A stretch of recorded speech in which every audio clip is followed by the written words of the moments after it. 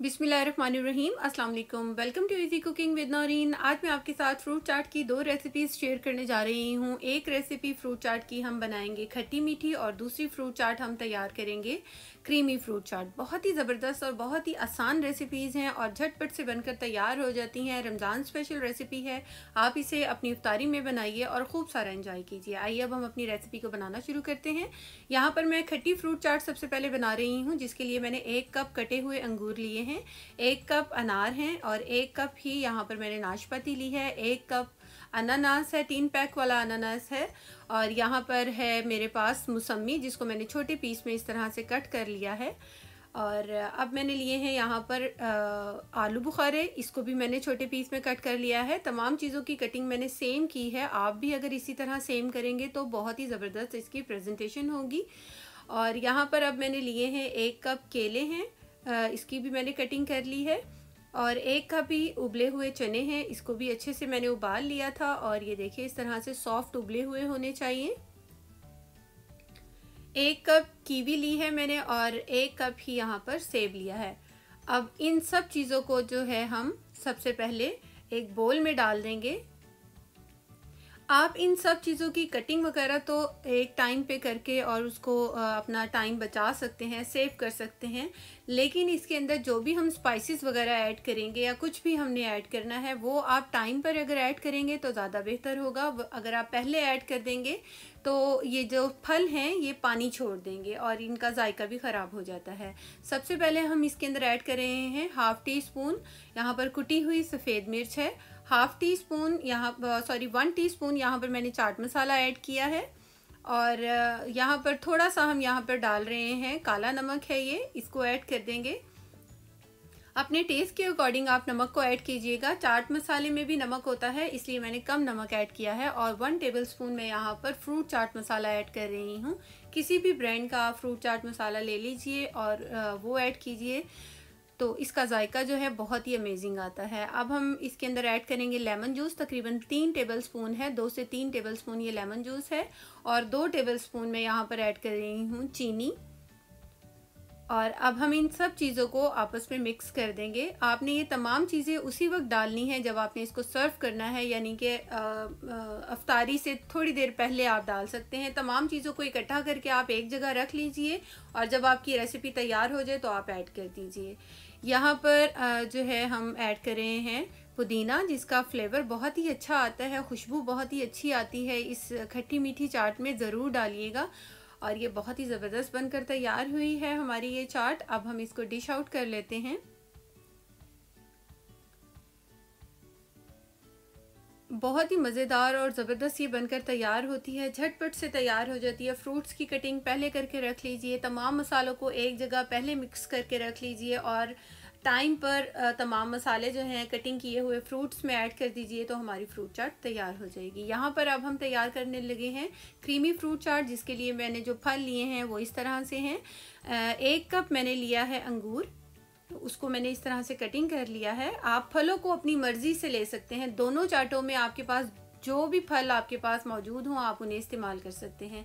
एक कप मैंने केला लिया है और यहाँ पर मैंने जो है एक कप रेड अनार लिया है। केले की भी मैंने छोटे पीस में एक में से दो कर लिए थे और इसकी कटिंग की है। और नाशपाती की भी मैंने इस तरह से कटिंग करके रखी है। सेम साइज़ में जितने साइज़ का हमारा अंगूर था, उतनी साइज़ की मैंने तमाम फ्रूट्स की कटिंग की है। एक कप कीवी। ये देखिए, इस तरह से इसकी भी मैंने कटिंग कर ली है। और एक बड़े साइज़ का सेब था, जो कि एक कप से यानी एक प्याली से थोड़ा ज़्यादा बना है। और यहाँ पर मैंने लिए हैं ब्लैक कलर के अंगूर, जिसका साइज़ जो था सेम था तो मैंने इसकी कटिंग नहीं की। और ये टीन पैक वाला मेरे पास पाइन है, इसको, इसके चंक्स ऑलरेडी हुए हुए थे, और अगर बड़े होंगे तो आप सेम कर लीजिएगा तो ज़्यादा अच्छे लगेंगे। अब हम सबसे पहले एक बोल लेते हैं और उसके अंदर ये तमाम फल को ऐड कर देते हैं। जिस तरह कि मैंने पहली रेसिपी में आपको बताया कि आ, हमने जो स्पाइसेस ऐड करनी है या जो भी चीज़ ऐड करनी है फ्रूट्स में हम टाइम पर ऐड करेंगे वरना हमारे जो फ्रूट्स हैं वो ख़राब हो जाते हैं पानी छोड़ देते हैं।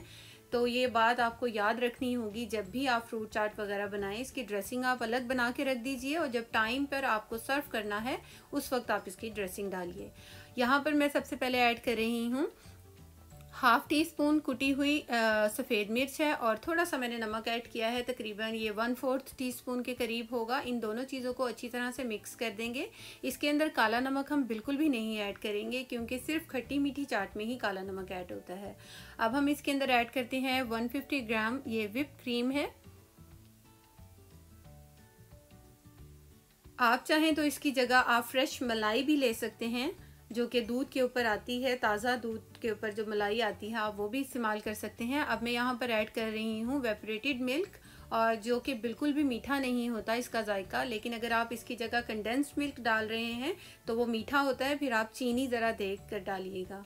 अब यहाँ पर हम ऐड कर रहे हैं तीन टेबल स्पून दही और गाढ़ा दही ऐड करना है। अच्छी तरह से मिक्स कर देंगे और इसके बाद हम ऐड करेंगे तकरीबन दो टेबल स्पून यहाँ पर म्योनीज ऐड कर देंगे और इसको भी अच्छी तरीके से हमने मिक्स कर देना है तमाम चीज़ों को कि दही म्योनीज और तमाम क्रीम वगैरह जो है, यकजान हो जाए और एक अच्छा सा क्रीमी सा इसका टेक्सचर आ जाए।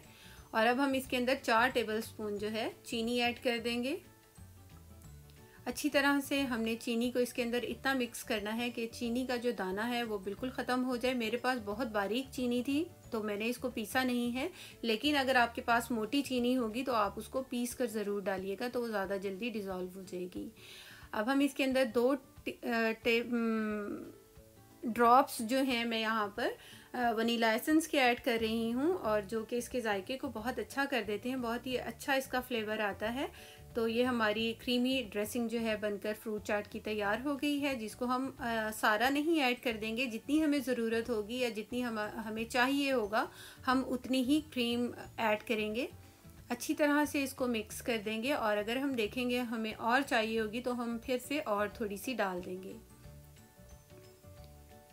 आपने इसको जितना क्रीमी बनाना है उस लिहाज से आप इसके अंदर क्रीम ऐड कीजिए। और यहाँ पर हमारी ये क्रीमी फ्रूट चाट भी बनकर तैयार हो गई है और मैंने सारी ड्रेसिंग जो बनाई थी वो नहीं डाली है, उसमें से थोड़ी सी बच गई है।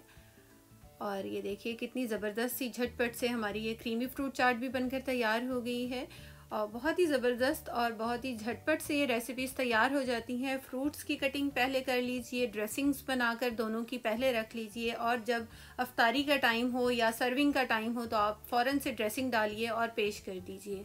बहुत ही ज़बरदस्त रेसिपी है। रेसिपी को आपने फुल वॉच किया। आपका बहुत बहुत शुक्रिया। थैंक्स फॉर वॉचिंग अल्लाह हाफिज़।